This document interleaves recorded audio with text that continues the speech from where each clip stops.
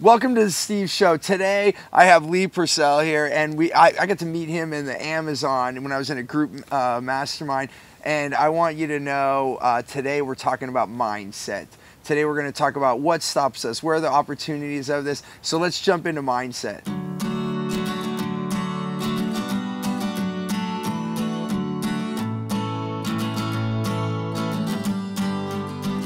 Yeah, so you know, you know, Lee, I'm so happy you're on the show. First, I'm like grateful that you're here, and the second part is like I think, you know, so many of us we think that um, when we get somewhere, when we get to a certain place, or when we achieve a certain goal, or when our business does something, or you know, when we meet our career goals, that then it'll be different. that then the change will happen, and I think that we find and I think you and I both agree that really we have to change to have that.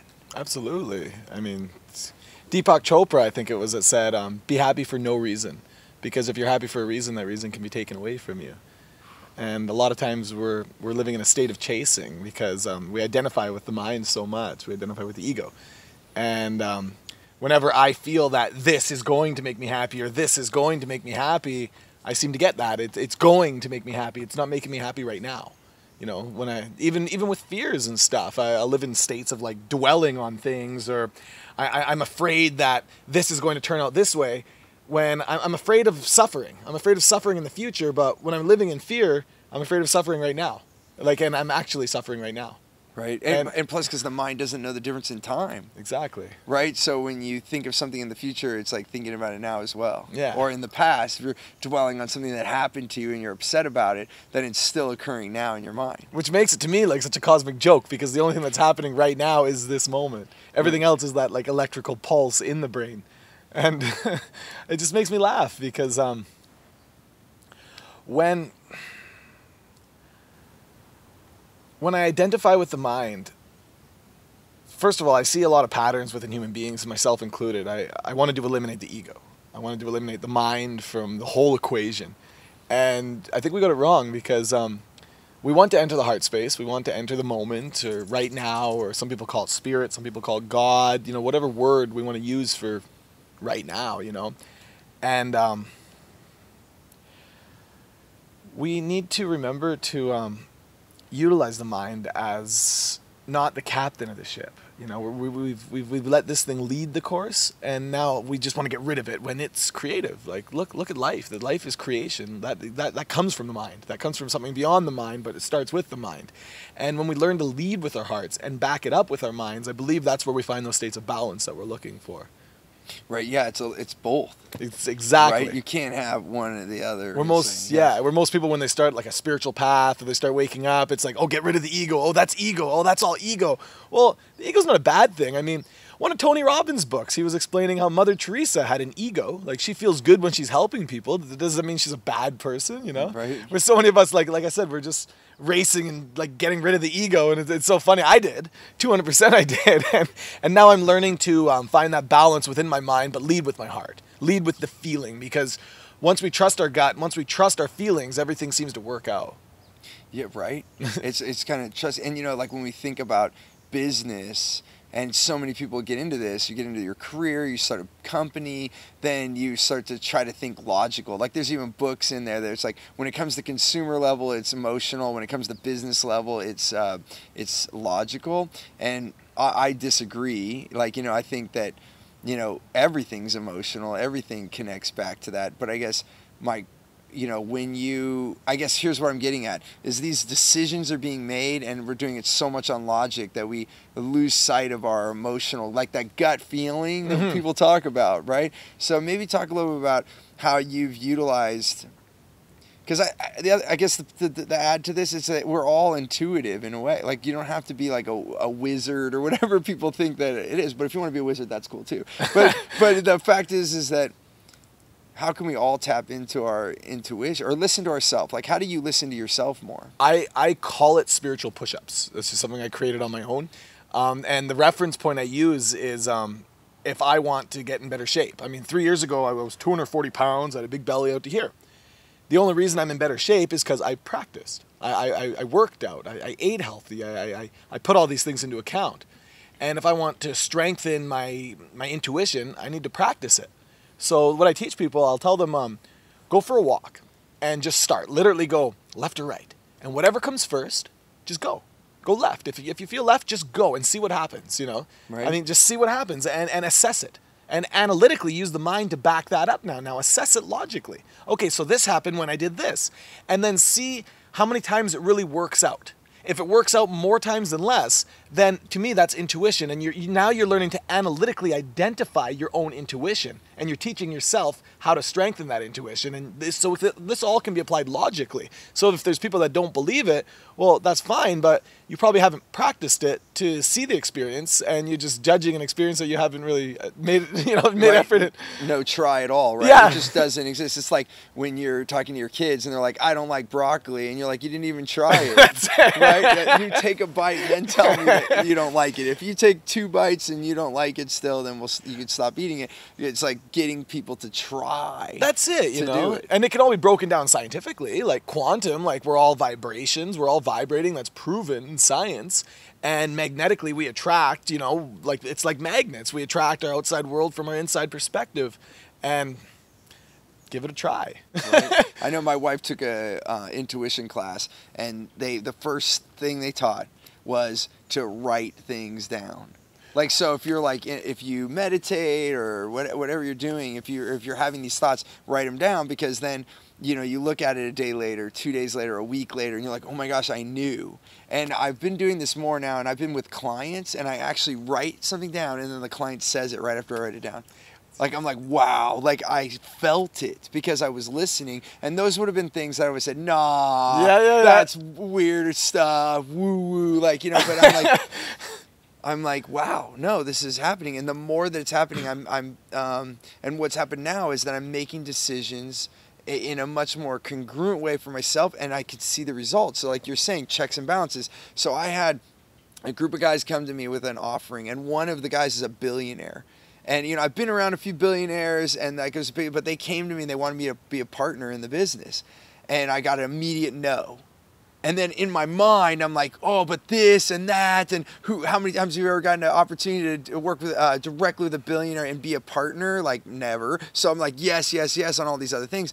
But I already made a commitment to myself before this happened. Like months before, I was like, I'm gonna take the first answer. Like you said, uh, left or right. And It's like left shows up. And when I'm asking myself these yes or nos, I went with the no. Yeah. And um, it turns out the whole company was a complete mess. I think they're going to figure it out, but all of them are working way harder. And now it makes sense to me because Yeah. my whole mission right now is to be with my family, to be with my kids. And so I don't want a business that's going to take my affairs outside of the house where I'm like working way harder. It did not work the way that they expected. So my intuition was correct. It served me.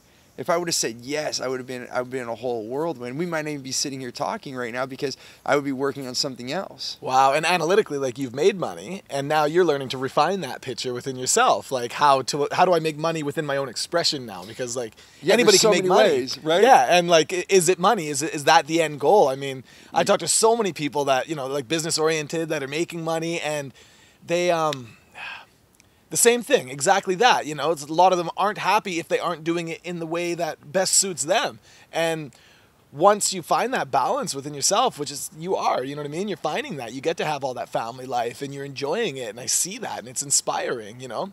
And then take that one account that you just had with that business guy and um, analytically looking at it, wow, you made a good call. You- Right. You made a good call based on feel. Right. And there's no logic to explain it at first, but if you do that 10 times and it works out eight or even 10 times, if it works out every single time, how can you deny that? That's Right. science. That's a study. You're, you that's an observation, and majority of the time it's working out. So, Right. like, that's intuition. Like, Right. it, it can be explained so logically and so simply. Right? Yeah, I call Yeah. I call life so much simplicity within so much complexity because, for me, anyways, I've personally found the most like the craziest, most profound things that I've ever been searching for have been the simplest of all. Do you agree? Uh, absolutely. I mean, uh, I it's life and business is so simple, you know, we become delusional.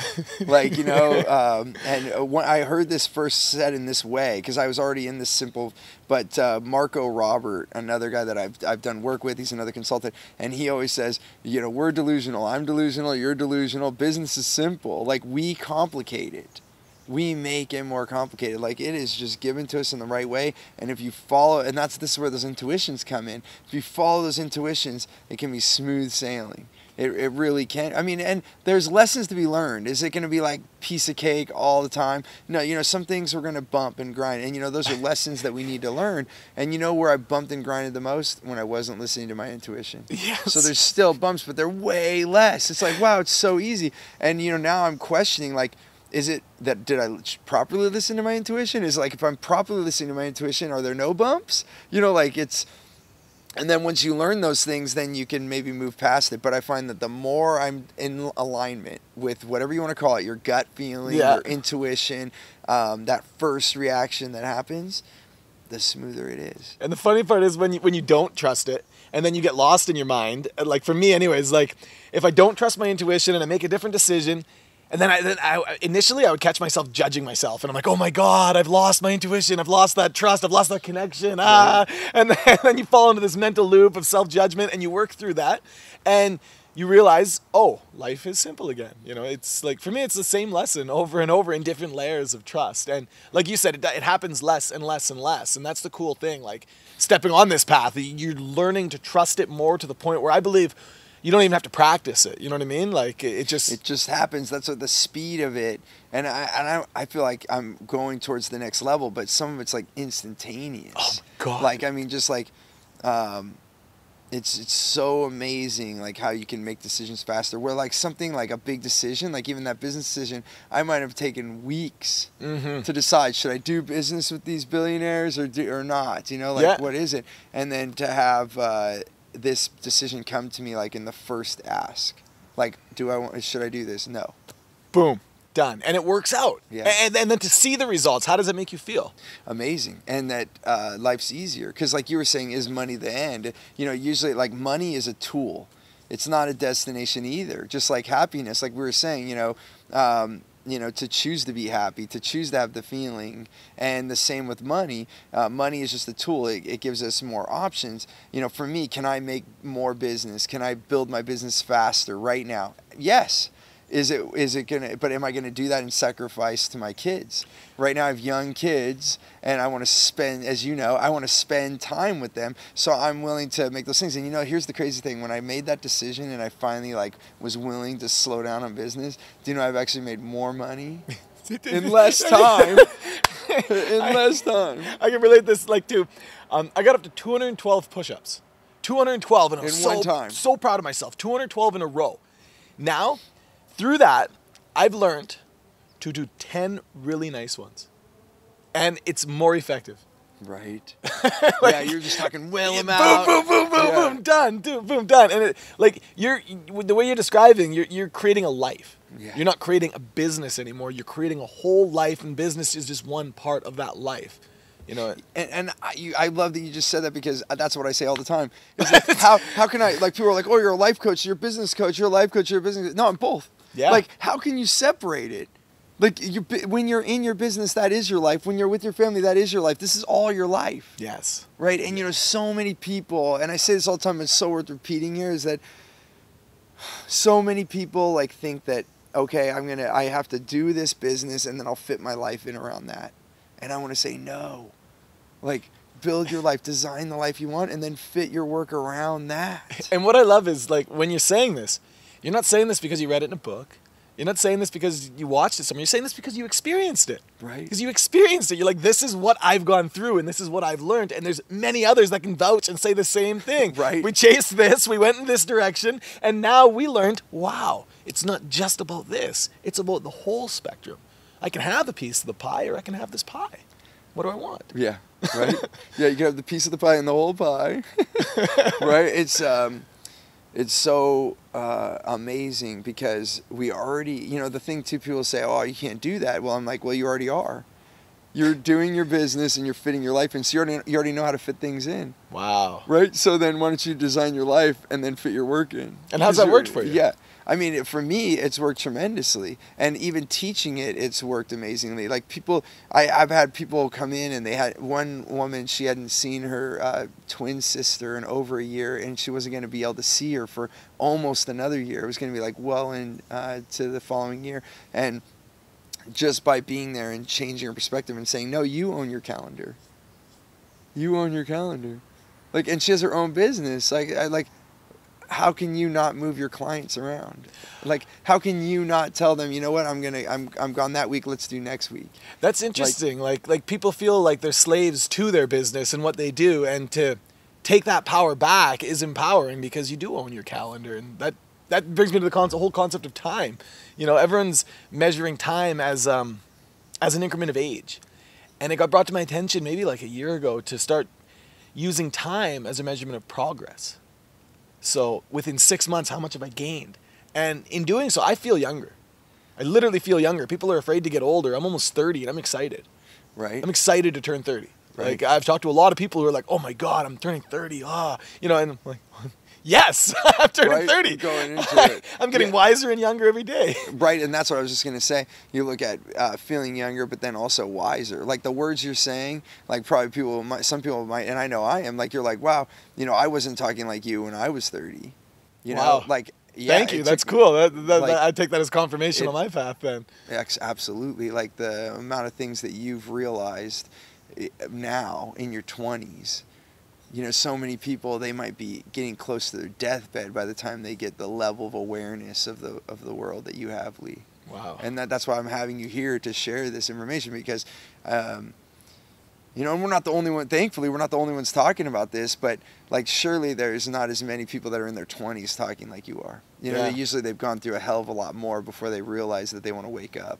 Wow, wow. Right? Thank you. That's huge for me to hear on my path. Like I, you know, I've I've taken a lot of risks at a young age within myself, you know, and um, analytically to observe through that and learn lessons through that. And I think um, I just like the best advice I could give anybody in that is um, learn through every experience, you know, like like we're here to, to, to screw up. We're here to make mistakes. We're here to fall off the horse and get back up.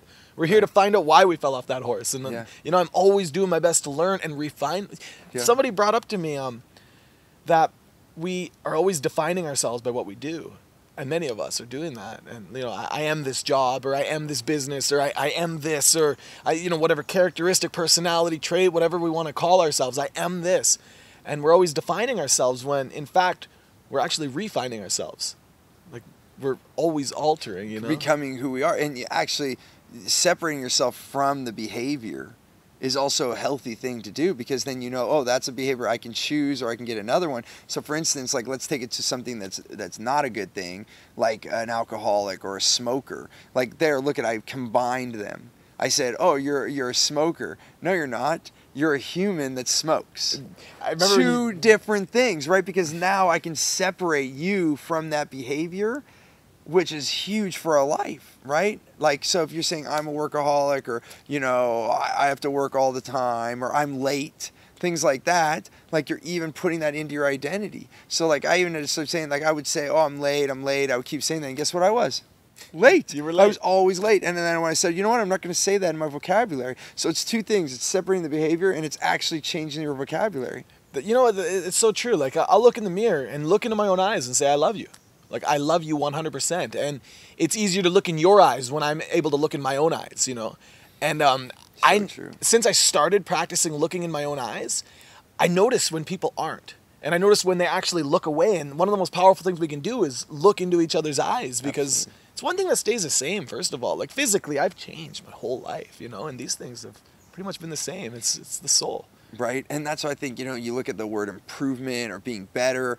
Um, sometimes that has that has a uh, uh, you know it's kind of almost saying that something might be wrong now. Like oh, then what's wrong with me now if I have to be better? Um, and you know what I've found is that it's not that we're just striving to be better. It's that we're peeling back all this other stuff so that the true person can be revealed. Yeah, Right. Like, you know, I've, okay, I'm in the jungle and I'm showing somebody. I was asking somebody to help me um, rake the leaves in the path, and you know, and I know it looks good. I know the le- it looks good with the leaves, and this is where like because it doesn't look bad. So I'll show them and be like, look at this. I was like, it doesn't look bad. It looks pretty good. And then I've already raked another path, and then I'll show them that path. I'm like, it looks immaculate now. You know, it's we can always improve. We can always improve beauty. Perfection can get better. You know, like everything can just get better. And when we define something as good or bad, I mean, we're limiting that too. You know, we're just improving. Yeah, and what is it too, right? Like it's just a different look that might be better. Like even look at it in humans, we have like you know uh, different time periods, different things were uh, acceptable. Like uh, you know, you have the whole rage of uh, so society puts different thoughts on what looks good or what the perception are. So our community, like where you are, uh, makes us think differently about things. Right? That was an interesting one to step through. Um, I was reflecting on um, like m- meditating from a city boy's perspective, and I was just reflecting on that because I'm you know growing up in the city suburbs. You know, I, you grew up the same way, and um, I realized like um, when I meditate, I'm stepping into myself, and because I'm, you made me think of this because we were just talking about the distractions out there, and um, like how society puts all these impositions, whether conscious of it or not, whether it's direct or indirect. You know, there's advertisements, there's the smoking, the drinking, there's there's the partying, there's the social conditioning that we're just succumbed to, yeah. and um, meditation really helps me because I'm tuning into Lee, and I'm not succumbing to anything out there because well I see it but I'm, I'm more connected to myself. When I'm not meditating every day, I'm more focused out there. And there's so much out there that can distract us, whether it be the billboards. And sorry, I'm going to break off on another tangent, but billboards, spiritual billboards I started at my house. And um, what I would do is I would write on the wall, like, love yourself 100%. I love you. You are amazing. You are wonderful. You are awesome. And I wouldn't even consciously notice these things. And I realized, like, this is what billboards and this is what advertising is. There's subliminal messages just happening anyways. Because they're in your environment. So I started setting up my own. And I call them spiritual billboards. And they work. Like, I, I walk by it. Maybe I don't look and go, oh, look, that's I love you 100%. But I'm walking by it and it's coming in. It's coming right. in my peripherals. And right. so I started taking back my power. Right. it's so beautiful, brother. All these things that were, these little nuggets right here, they're so simple, yet so profound. Like you know, it's the simple shifts that make the biggest differences. Back to and, the simplicities yeah. within life's complexities. It's it, it makes it makes it makes all the difference. So I'm curious, um, with the short time that we have today, if if you were to meet someone, and I know it's probably different. You're like like me when you're looking at someone, you actually see what the what might be needed for that individual. But on a broad sense, if you could give someone one nugget of advice What's the one thing that you think can help people to move their mindset um, in, into the direction that they want? What would be the one thing of awareness that you would want them to know? Practice self love, self acceptance. I mean, we all are going to make mistakes. I make them daily. I, I make mistakes daily. And the hardest thing is when I make mistakes, I used to identify myself with those mistakes and I'd fall into ruts about those mistakes when really I'm just learning. We're all just learning. The more I love and accept myself for learning, the more I'm able to look at myself and expand with that. The only reason I have any level of awareness right now is because I've made so many mistakes and I've been able to look at myself and step through them because it's so hard to take a look because our egos are so big within that I have to be this person, I have to be that or person. failure is bad, but when failure is just feedback. Failure is just feedback. That's a right. great way to put it. Like it's it, calibrating. Oh, that didn't work, so let's do it again. And and you know, that's why I do my best to love people and accept them as they are because the more somebody feels accepted, they feel more relaxed. Like if I'm if I'm constantly making mistakes and I'm afraid that you're going to judge me, I'm tense. I'm tense. I'm tight. When I'm relaxed, I, am making sharper decisions. Right. I'm thinking more impeccably. Everything is easier because I'm calm. I can make accurate decisions. When I'm tense, I want to please you and and I, I don't know what it's going to take to please you. Actually, I, I, have no control over how you think or view me. Yeah. So how can I worry about that? And the only reason I, I say all this is because so many of us get caught up in that, whether they're conscious of it or not. You know, I need to please my boss. I need to please my wife. I need to please my husband. I need to please my parents. I, I need to make sure my kids aren't, you know, upset. We're, we're always trying to please other people. And the more we take that in, and we really practice pleasing ourselves and loving ourselves, we're going to see that reflect because yeah. what's outside is in, anyways. Right. So Lee, I think you and I can just talk for hours and Oh, da- yeah. days, really. I mean, and, um, I, I I just wanted to scratch the surface and hope that this sparks some attention into the way that we talk, the way that uh, we think in our mindset. And uh, Lee continually inspires me. Like I'll see on social media some of the poems he has out, and I think you have your book was 65 poems. Yeah, Is it? yeah. Um, it's uh, the simple way The simple reminders that life is a gift. the simple reminders that life is a gift. It truly is.